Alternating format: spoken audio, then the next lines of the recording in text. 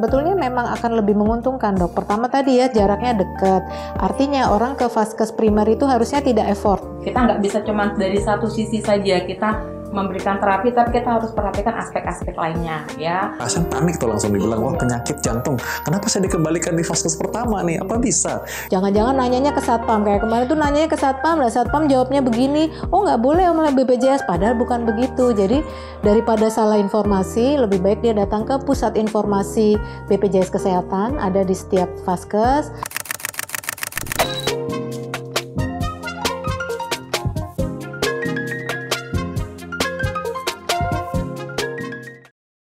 Halo Sobat Dero Channel, kembali bersama saya Dr. Fitra Damai. Kali ini istimewa sekali, kita kedatangan tamu. Siapa tamu-tamu kita? Kita lihat tayangan berikut ini.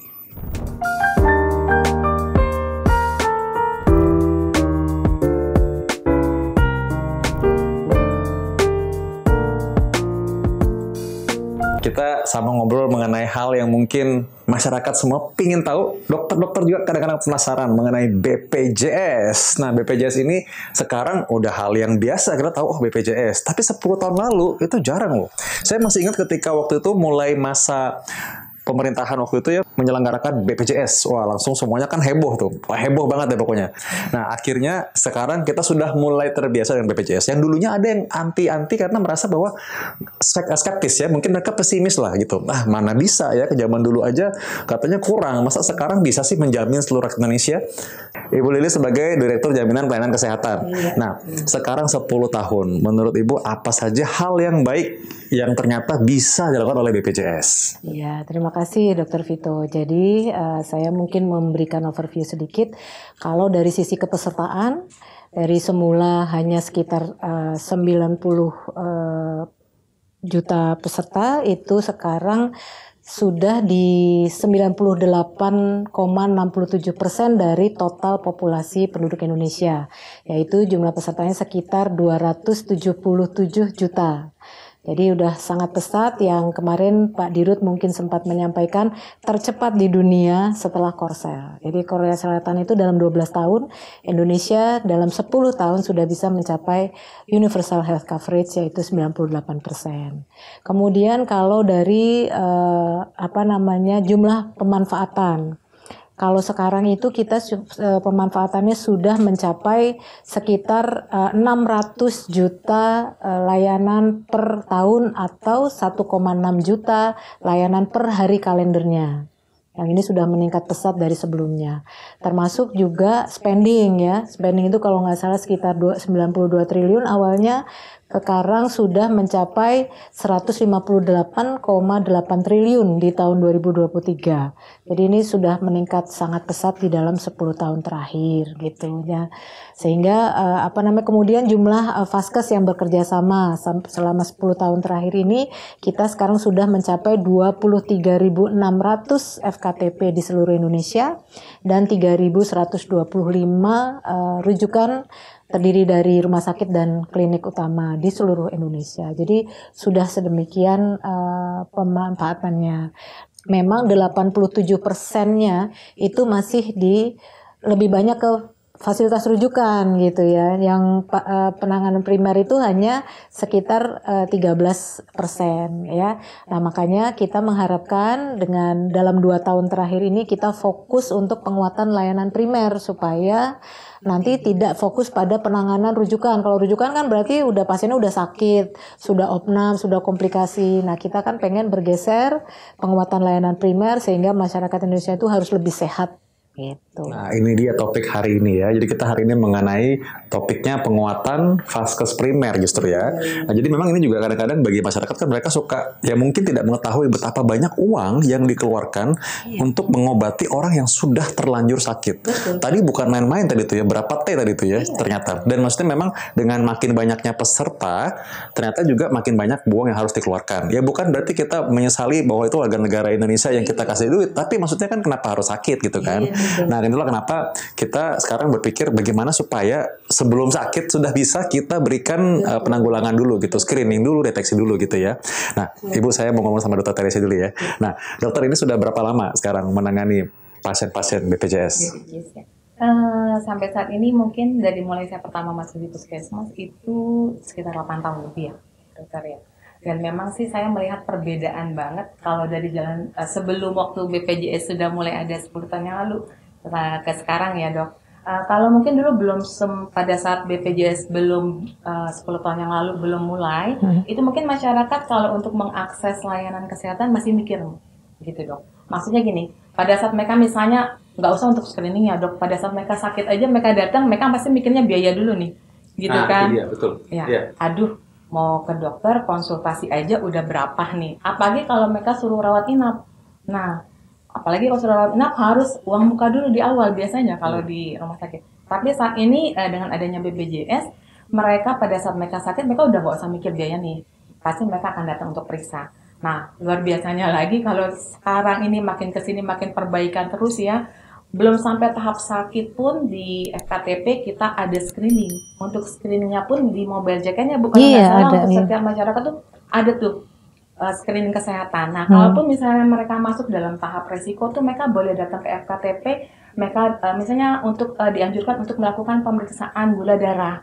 Hmm. Nah, itu akan mendapatkan pemeriksaan gula darah oleh kami. Nah, apalagi untuk yang memang sudah penyakit kronis seperti diabetes gitu ya, hipertensi, mereka harus kontrol tiap bulan dan itu semua gratis mereka untuk yang diabetes mereka berhak mendapatkan pemeriksaan gula darah dan untuk pemeriksaan lab lainnya itu sudah tersedia di FKTB dan itu gratis oleh BPJS. Nah sehingga itu sangat terasa sekali perbedaannya gitu kan dengan kata lain mereka sudah punya yang tadinya mungkin mereka nggak punya jaminan kesehatan nih ya boro-boro sudah ikut jaminan asuransi ya dok untuk yang berbayar. Tapi saat ini mereka sudah tidak berbayar ataupun itu untuk yang PBI gratis. Tapi kalau mungkin mereka pun membayar, bayarnya pun iya, sangat terjangkau sekali ya bu ya. Iya. Nah itu tapi dengan manfaat atau benefit yang mereka dapatkan itu sungguh luar biasa. Coba mungkin kalau kita bayarnya misalnya hanya kelas satu mungkin berapa ya? 150 ribu. 150 pada saat mereka membutuhkan layanan yang memang perlu operasi, mereka butuh layanan yang perlu uh, luar biasa memakan biaya yang banyak kalau sebelum ada BPJS tapi sekarang mereka free. Ya ini kan sekarang juga sebenarnya saya sebagai dokter jantung ya, orang kalau pasang stent, pasang ring itu berapa biaya yang harus dikeluarkan kan itu mahal sekali sebenarnya. Tapi dibandingkan kalau kita screen dari awal nih, kan penyebabnya sudah jelas hipertensi iya. itu bisa di vaskes pertama. Orang yang screening gula perlu screening diabetes kan vaskes pertama bisa. Orang kolesterol tinggi di vaskes pertama juga bisa. Jadi sebenarnya kita bisa men-screening, deteksi, mencegah kalau bisa nggak terlanjur sakit. Nah ini menurut saya sih memang hal yang harus kita utamakan saat ini ya. Nah tadi tadi pembagiannya katanya sebagian besar masih di pengobatan tersier ya justru ya. Jadi orang uh, jadi masyarakat Indonesia itu masih lebih banyak uh, apa datang itu dalam kondisi sudah sakit atau sudah komplikasi sehingga membutuhkan layanan di rumah sakit. Dan selama ini juga masih banyak apalagi yang orang-orang muda ya Dokter Vito selalu bilang gini, kalau saya kan nggak sakit, saya nggak pernah pakai BPJS. Nah itu yang saya bilang sekarang keliru. Karena BPJS itu bisa dipakai bahkan oleh orang yang sehat. Memang kalau asuransi di mana pun tidak bisa uh, general check up ya, iya. artinya tanpa keluhan terus dia check up itu memang tidak di cover. Tapi dia bisa memulai dengan mengisi screening riwayat kesehatan. Kalau dia berisiko, dia akan uh, diperiksakan laboratorium, dirujuk ke dokter spesialis, semuanya di cover oleh BPJS Kesehatan. Jadi memang sekarang prediabetik pun berobat di cover dok gitu. Jadi kita memang sekarang ini lebih banyak ke promotif preventif untuk mencegah uh, jangka panjang. Karena dari 87% yang kerujukan itu, 25 persennya adalah untuk penyakit-penyakit berbiaya katastrofik. Yang tiga terbanyak itu adalah jantung itu paling tinggi uh, biayanya. Kemudian yang kedua kanker, yang ketiga hemodialisis. Nah ini hemodialisis juga naik terus frekuensinya. Nah, maka kita sekarang berpikir jangan sampailah terjadi komplikasi tadi Sebetulnya penyakitnya dijamin, tapi kan ada ongkos-ongkos lain yang juga harus dibayar. Misalnya kalau dia opnam, memangnya yang nunggu nggak bayar ya. gitu ya. Kalau dia harus berobat, memangnya transportnya nggak bayar. Jadi artinya sebetulnya buat masyarakat itu sehat itu akan lebih penting lah. Walaupun dijamin JKN pun, menurut saya akan lebih menguntungkan kalau dia tidak dalam kondisi yang sakit. Ya. Gitu. Hanya memang kalau misalkan belum kehilangan kesehatan, belum merasa ya. Nah, itu. Oh itu penting jadinya. Nah, tadi sebelum saya ke dokter Teresia ya, tadi gimana caranya kalau masyarakat ada yang mau screening? Jadi screening itu kita uh, jadi BPJS Kesehatan itu kan membagi promotif preventif menjadi beberapa tahap tahap uh, pencegahan primer itu kita dengan uh, memberikan edukasi, kemudian juga tadi screening riwayat kesehatan. Caranya mudah dengan mengisi form saja, bisa melalui aplikasi mobile JKN, bisa diakses di website atau bisa datang ke Vaskes Primer nanti dibantu oleh teman-teman di Vaskes Primer untuk mengisi. Setelah mengisi langsung Dok begitu mengisi langsung nanti ada resultnya, ada hasilnya. Hasilnya bisa berisiko rendah sedang atau tinggi. Kalau dia berisiko sedang atau tinggi, dia berhak namanya screening uh, penapisan namanya. Screening penapisan itu bisa dilakukan di FKTP kalau memang sarananya tersedia atau dia bisa dirujuk ke fasilitas kesehatan tingkat lanjut gitu untuk diperiksa sampai penegakan diagnosis. Jadi tadi kalau screeningnya oh risiko diabetes, ya kalau memang di vaskes primer, kalau di puskesmas sekarang udah ada pemeriksaan laboratoriumnya lengkap. Jadi bisa sampai HbA1c juga bisa. Jadi itu bisa dilakukan di situ dan itu di cover karena ini adalah proses screening penapisan. Nah, nanti kalau dia dari screening penapisan itu terbukti sakit, maka dia masuk ke dalam pencegahan tersier. Pencegahan tersier itu mencegah terjadinya komplikasi. Jadi kalau dia sudah punya uh, sudah positif sakit, kalau dia penyakit kronis, dia akan dirujuk dulu ke rumah sakit, Dok nanti oleh dokternya di, dikasih pengobatan apa diperiksa-periksa lanjut lah prinsipnya dijaga untuk tidak terjadi komplikasi. Kalau dia sudah terkontrol atau sudah stabil dia akan dikembalikan lagi ke FKTP untuk di maintenance. Nah, di FKTP itu kita ada yang namanya program rujuk balik untuk 9 penyakit kronis, kemudian ada namanya Prolanis, program pengelolaan penyakit kronis. Nah, di Prolanis ini FKTP nanti menjaga karena kita kan konsepnya manage care ya, Dok tadi uh, apa namanya peserta yang terdaftar di FKTP-nya untuk terjaga terus kondisinya. Jadi dengan Prolanis itu setiap bulan FKTP akan memastikan obat itu disediakan untuk satu bulan. Kemudian periksa lab-labnya juga disediakan dan itu tercover dok. Jadi nggak usah keluar biaya. Nah nanti kalau misalnya ternyata ada apa ada komplikasi apa, tinggal FKTP ini merujuk lagi ke FKRTL. Demikian seterusnya. Jadi kita memang e, memastikan bahwa tadi ya kalau dia belum sakit dia ter, terdata, eh, terdeteksi. Nah kalau dia sudah sakit dia terjaga, termaintenance gitu dok penyakitnya gitu. Kalau dia ada komplikasi dia tersedia juga fasilitas rujukan bisa dirujuk. Nanti kalau sudah e, baik kembali lagi. Konsepnya begitu. Jadi sebetulnya memang uh, apa namanya BPJS Kesehatan atau JKN ini memang memastikan bahwa peserta JKN itu tidak hanya pada saat dia sakit tapi sebelum sakit pun sudah kita jaga supaya tidak terjadi sakit. Kalau sudah sakit kita jaga maintenance supaya tidak timbul uh, komplikasi yang lebih lanjut. Seperti itu kira-kira. Wow, saya rasa sih sebenarnya secara konsep ini sangat baik ya. Hanya masyarakat juga perlu mengerti contohnya PRB nih. Nah, nah PRB ini kadang kalau misalkan dokter spesialis misalnya Bu PRB ya takut langsung.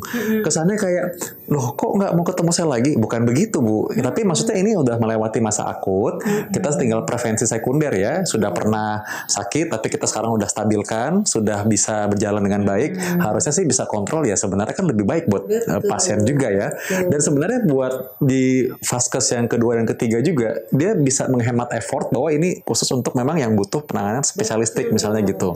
Nah jadi dengan demikian burdennya atau bebannya sama-sama terbagi.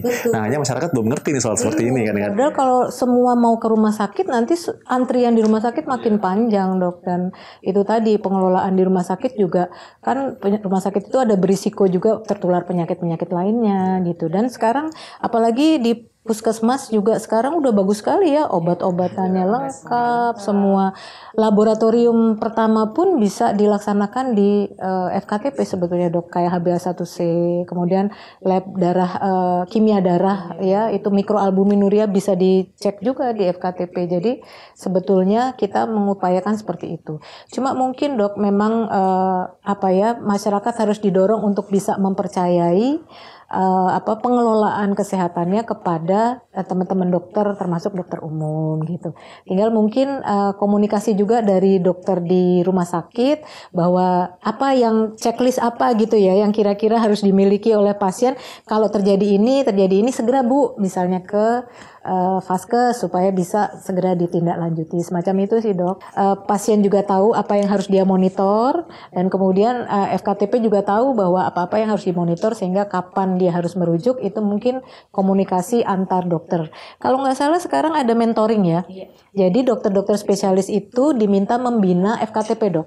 Jadi dia punya apa semacam transfer of knowledge kepada FKTP uh, kriteria atau indikator apa yang harus diawasi pada pasien sehingga kalau itu terjadi FKTP bisa merujuk. Tapi kalau enggak bisa cukup di FKTP. Nah ini saya kira suatu hal yang bagus dok uh, mentoring ini antara FKTP dengan FKRTL itu. Iya, saya rasa juga sebenarnya ke contoh ya, misalkan orang bilang penyakit jantung nih, hmm. Teresia mungkin pernah nih atau sering malah kan menerima PRB ya penyakit jantung, kan pasien panik tuh langsung dibilang wah iya. penyakit jantung, kenapa saya dikembalikan di fase pertama nih, apa iya. bisa?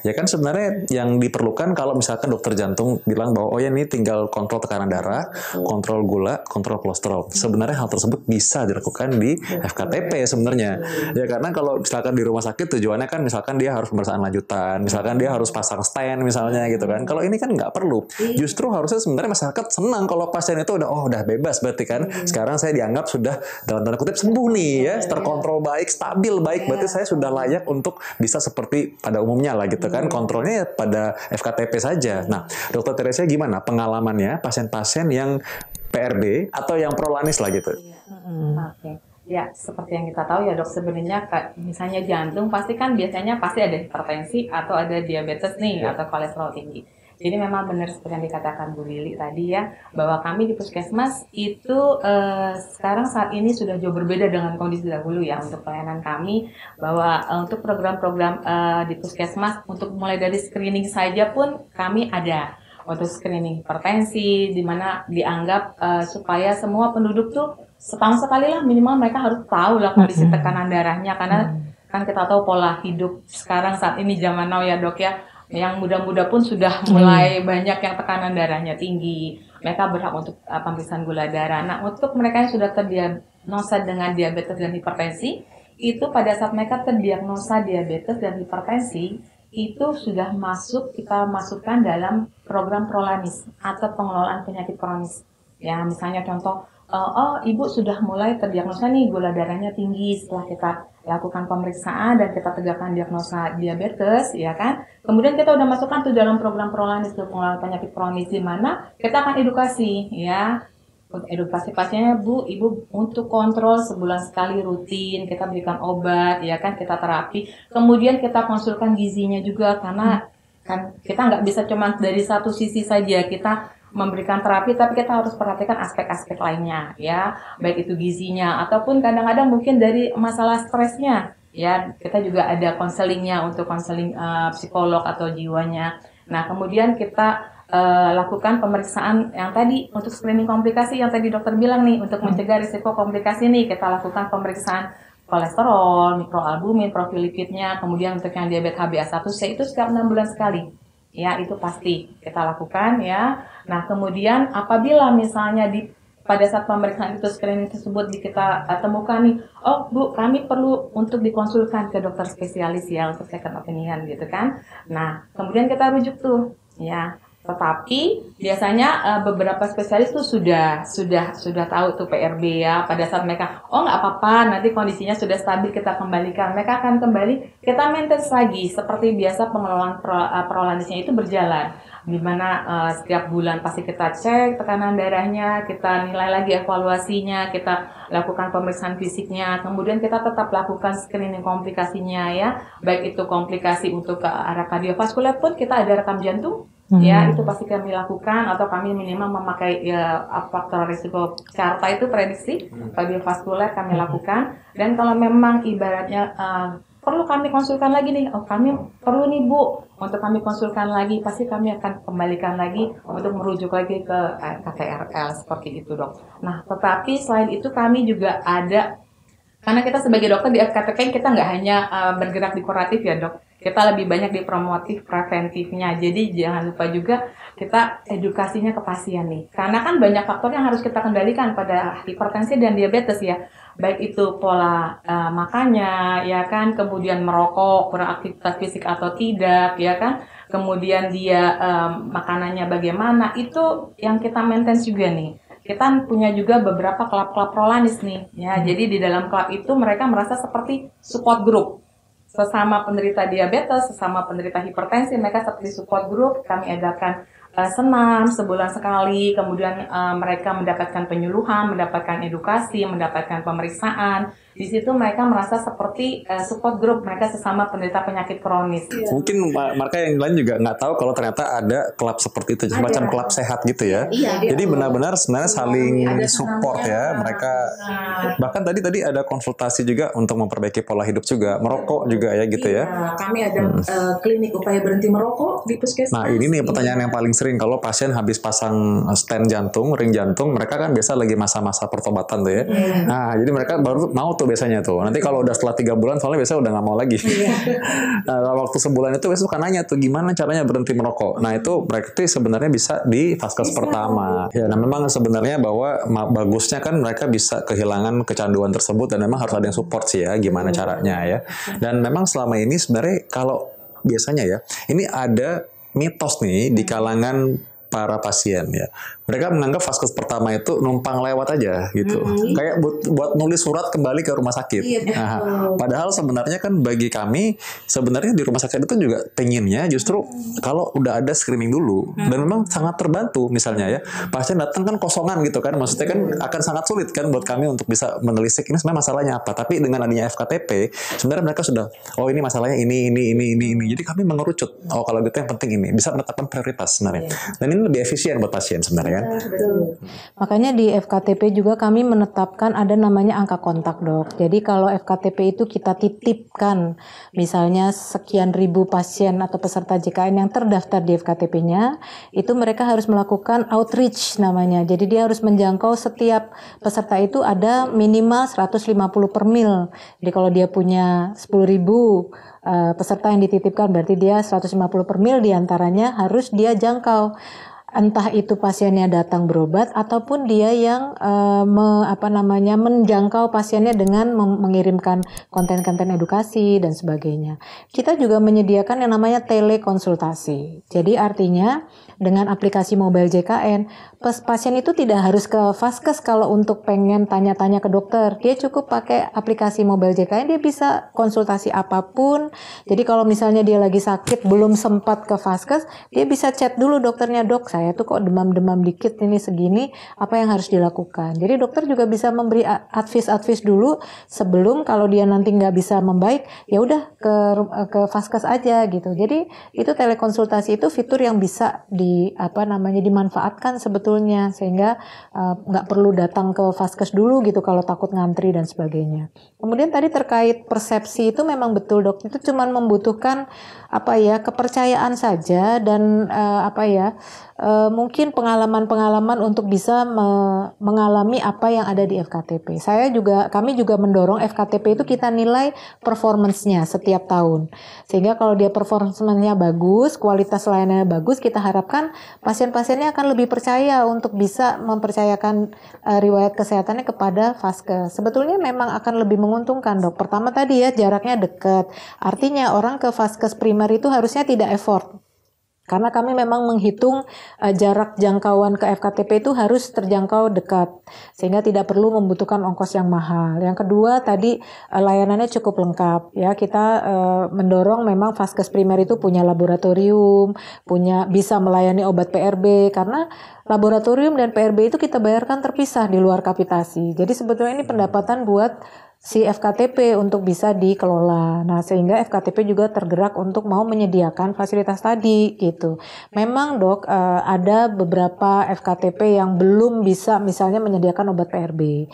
Tapi itu juga sebetulnya tidak terlalu masalah buat rumah sakit karena kalaupun dia tidak bisa mengambil obat di FKTP atau di uh, apotek terdekat PRB, dia bisa saja tetap ke rumah sakit tapi tidak perlu ketemu dokter. Namanya obat PRB juga, tapi diambilnya di rumah sakit. Makanya konsepnya 723 yang kadang-kadang dokter juga lupa menjelaskan kepada pasien bahwa memang kalau waktu periksa dokter obatnya dikasih 7 hari karena termasuk paket inasi bijis kan dok. Nah yang 23 hari silahkan diambil di apotik rumah sakit tanpa harus ketemu dokter cukup dengan uh, kopi resepnya aja. Namanya iterasi. Bahkan iterasi itu bisa dilakukan sampai tiga kali, eh sampai dua kali dok. Jadi tiga bulan berturut-turut uh, pasien bisa mendapatkan obat kronis tanpa harus ketemu dokter. Jadi itu uh, yang yang kita lakukan supaya uh, menjamin bahwa peserta uh, penyakit kronis ini tidak akan sampai putus obat. Jadi kita membuat kebijakannya seperti itu sebetulnya dok. Nah ini yang orang mungkin belum tahu perlu disosialisasikan lebih banyak. Nah itu pemirsa ya, kalau tadi udah dengar, coba tulis di komen kira-kira pertanyaan apa dan juga sebenarnya Anda harus share ini supaya orang pada tahu juga bahwa ternyata bisa seperti itu. Hmm. Nah Ibu Lili, saya masih mau tanya tadi mengenai hmm. mengenai mobile JKN ya karena mobile JKN ini kan bahkan pemakai BPJS juga mungkin ada yang belum tahu tuh. Betul. Nah, sebenarnya pertama, pertanyaan pertama, apakah mereka bisa memilih FKTP dari sana? Apa aja sih kemampuannya. Fitur-fiturnya ya. Oke. Jadi betul sekali saya uh, saya tuh heran kadang-kadang kalau saya supervisi ke lapangan saya selalu tanya, ibu-ibu itu bisa punya aplikasi belanja online. Oh. Punya aplikasi apa? ojek online gitu ya. Tapi kenapa nggak punya aplikasi mobile JKN? Padahal itu juga tinggal tinggal download aja dari uh, apa tadi Play Store atau App Store. Gitu. Enggak, enggak bayar gratis. Jadi bisa sebenarnya gratis dan bisa konsultasi juga dengan dokter di aplikasi mobile JKN tersebut. Nah, jadi yang ada di uh, fitur yang ada di aplikasi mobile JKN itu sebetulnya banyak fitur tentang misalnya kita mau melihat status kepesertaan kita. Kan kita terutama yang penerima bantuan iuran itu kadang-kadang kan kaget loh waktu dia mau berobat kok ditolak gitu karena tiba-tiba nggak aktif. Nah, sebetulnya kalau dia punya aplikasi mobile JKN dia bisa ngecek setiap hari bahwa uh, statusnya tetap aktif. Karena kalau statusnya nggak aktif, dia bisa mengurus lagi. Kalau dia penerima bantuan iuran, dia ngurus ke dinas eh, dinas sosial atau ke dinas kesehatan. Tapi atau kalau misalnya dia uh, pekerja yang menerima upah dari badan usaha gitu. Bisa saja badan usahanya belum membayarkan gitu ya iurannya dia. Jadi dia bisa lihat tuh, kok saya tidak aktif. Nah, itu kan bisa diurus gitu dan caranya diurus juga mudah. Sekarang kan tidak harus datang ke uh, ke kantor BPJS, kita bisa layanan pakai WA, bisa call center, bisa melalui aplikasi mobile JKN. Itu status kepesertaan. Yang kedua terkait iuran tadi ya, kalau iurannya belum dibayarkan kita bisa cek. Yang ketiga adalah uh, tadi pindah vaskes itu bisa melalui mobile JKN. Dan jangan lupa kalau misalnya pindah vaskes memang misalnya kita pindah di tanggal 27 ini ya, maka nanti baru baru tanggal 1 dia pindah ke vaskes berikutnya. Dan kalau dia udah pindah, memang dia harus menunggu menunggu tiga bulan untuk bisa pindah lagi. Jadi nggak bisa hari ini aku mau di vaskes A, besok pindah lagi vaskes B nggak nggak bisa sih dok. Ya memang ada fase seperti itu. Kemudian yang keempat, kalau nah ini yang paling penting juga harus diketahui bahwa BPJS Kesehatan ini sifatnya portabilitas dok. Artinya dapat digunakan di mana pun di seluruh Indonesia. Jadi kalau kayak saya yang kerjanya keliling-keliling Indonesia, ini menguntungkan sekali. Kalau saya dari saya kan terdaftarnya di Vaskes di Semarang. Nah kalau saya lagi di Jakarta, lagi di Papua, lagi di NTT, di mana pun saya sakit misalnya, saya bisa mendapatkan layanan kesehatan di tempat itu, di mana pun di seluruh Indonesia. Dan ini tidak ada di semua negara ya. Maksudnya hanya Indonesia yang bisa karena kita single payer kan. Semuanya di bawah BPJS Kesehatan. Jadi itu bisa. Nah, kemudian caranya gimana? Cukup dengan KTP aja gitu. Ini juga sesuatu yang mungkin tidak di semua negara bisa. Nah, cara yang berikutnya fasil uh, apa uh, bisa menggunakan JKN Mobile untuk apa? Nah, di JKN Mobile itu ada lokasi Vaskes, Dok dan dia membaca lokasi uh, kita berdasarkan koordinat ya. Jadi kalau misalnya kita lagi di mana, dia akan menunjukkan vaskes terdekat dari kita pada saat itu. Nah, jadi kita bisa lihat kalau nah tinggal kita kasusnya darurat atau enggak. Kalau kita enggak darurat, kita ke FKTP terdekat. Nanti bisa dilihat tuh ada ada Google Map-nya juga. Jadi kalau misalnya kita perlu ke sana, kemudian ada nomor kontak juga. Nah, itu kalau dia di, tidak darurat dia bisa ke vaskes primer dulu. Dan bahkan kita bisa memilih vaskesnya dok karena ratingnya kelihatan. Yang bintang 4, bintang 3 itu ada di situ. Jadi kita milih oh kayaknya pengen yang bintang 5 deh gitu ya. Ya udah nanti oh Puskesmas Johar Baru nih bintangnya 5 nih 4,9 misalnya. Ya udah kita pilih itu aja gitu yang terdekat dan itu.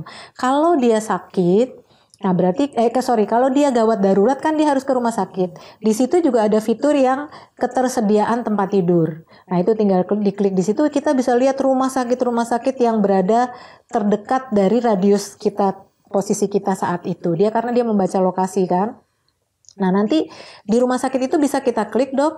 Itu bisa kelihatan selain rating tadi ya, bintang-bintang berapa tadi, bisa kelihatan ketersediaan tempat tidur, Dok. Jadi misalnya saya pakai BPJS-nya kelas 2 gitu ya. Kan kita kalau kita mau ke sana takutnya kalau sampai sana harus opnam nggak ada tempat tidur gitu kan. Nah, itu bisa dilihat di situ. Kelas 3, kelas 2, kelas 1 berapa ketersediaan tempat tidurnya. Jadi kita nggak bisa misalnya sampai di sana terus dibilang, "Oh, kalau BPJS penuh." Ya dilihat aja loh, ini nggak penuh kok di sini, kok dibilang penuh gitu. Nah, itu bisa menjadi cross check kan, Dok. Hingga bisa eh, bisa apa namanya bisa dicek di situ. Itu ada di eh, di JKN Mobile. Selain itu, ada yang namanya fitur iCare JKN. iCare JKN itu adalah rekam medis dalam genggaman, Dok. Nah, jadi kalau kita berobat di mana pun vaskes uh, mitra BPJS Kesehatan, data kita akan ter, akan masuk ke database. Jadi kalau kita penderita penyakit jantung tadi, kalau kita ke apa daerah eh, di luar tempat kita berada, kan dokternya yang di sana nggak tahu kita pernah dapat obat apa aja. Nah, silahkan kita bukain itu aplikasi iCare JKN. Jadi kalaupun pasiennya nggak bisa menjelaskan ke dokter dia sakit apa aja atau obat apa aja, maka dokter bisa melihat uh, aplikasi iCare JKN-nya dia bisa oh ibu biasanya dapat obat ini, oh ibu ada alergi obat ini ya bu, itu ada di iCare JKN. Dan ini juga sesuatu yang tidak semua negara bisa menyediakan itu. Nah kita ada dok. Kemudian ada tadi telekonsultasi. Tadi kalau kita belum sempat datang ke dokternya bisa telekonsultasi dulu ngechat dulu deh karena ini hari Sabtu gitu sebelum ke vaskes. Nanti kalau memang dokter sarannya ke vaskes ya kita akan datang. Dan jangan lupa telekonsultasi itu bisa kirim foto loh dok. Jadi kalau kita sakit kulit di foto aja sakit kulitnya nih dok kayak gini terus harus diapain gitu ya. Kemudian apalagi ya fiturnya bisa juga pengaduan tadi dok. Kalau misalnya ada komplain-komplain bisa diadukan kapan waktunya. Dan yang juga uh, tidak kalah pentingnya adalah antrian online. Jadi antrian online itu kalau eh, pasien itu ingin berobat ke vaskes, dia sudah cukup antri dari rumah dok. Jadi nggak perlu antri eh, jauh-jauh hari. Kalau dulu kan misalnya mau periksa jam 8, jam 5 pagi udah nongkrong di situ. Soalnya cepet-cepetan ambil nomor kan dok. Nah kalau sekarang cukup dari rumah aja. Bahkan sehari sebelumnya kita sudah dapat nomor antrian sehingga besok cukup datang pada jam atau satu jam sebelum jam yang ditentukan. Jadi kalau saya lagi supervisi ketemu ibu-ibu saya tanya, "Ibu tadi datang jam berapa?" Oh, sekarang saya bisa datang jam 7, jam 8, Dok, untuk diperiksa jam 10. Jadi saya bisa masak dulu, bisa apa ngopenin anak dulu baru berangkat. Oh, bagus Bu kalau gitu karena dia menggunakan aplikasi mobile JKN. Dan jangan lupa rujukan kita itu sekarang sudah rujukan elektronik. Jadi nggak ada lagi bawa berkas-berkas tuh nggak ada begitu puskesmas misalnya FKTP merujuk ke rumah sakit itu sudah langsung masuk ke sistemnya rumah sakit. Nanti di rumah sakit tinggal dibaca oh iya di poliklinik ini jam segini. Sehingga kalau dia sudah pakai aplikasi uh, antrian online dia tinggal datang ke rumah sakit langsung menuju ke poliklinik yang dituju karena dia sudah ini nggak usah ngantri-ngantri lagi pendaftaran segala macam gitu. Kita kan mau meminta FK eh, apa rumah sakit itu punya masa tunggu itu kita tetapkan sekitar 60 menit dok. Jadi kita akan memonitor mana rumah sakit yang masih lewat dari 60 menit kita upayakan seperti itu. Jadi itu nanti kelihatan dari uh, aplikasi uh, antrian online tadi udah nggak bawa rujukan. Kemudian ada kartu elektronik juga di situ. Kalau misalnya KTP juga lupa nomor KTP-nya, ya udahlah uh, kartu elektroniknya bisa ditunjukkan. Ini dimanjakan banget ya sekarang ya. Itu kalau yang cicilan dok bisa rehab di situ. Jadi kalau misalnya yang dia nggak uh, mampu melunasi tunggakan sekaligus bisa mencicil sampai 12 bulan. Bisa mencicil. Lewat situ aplikasi itu nanti ada uh, paymentnya uh, secara bertahap 12 bulan. Maksudnya satu bulan itu cicil 12 bulan? Tunggakan dicicil sampai 12 bulan bisa pakai aplikasi.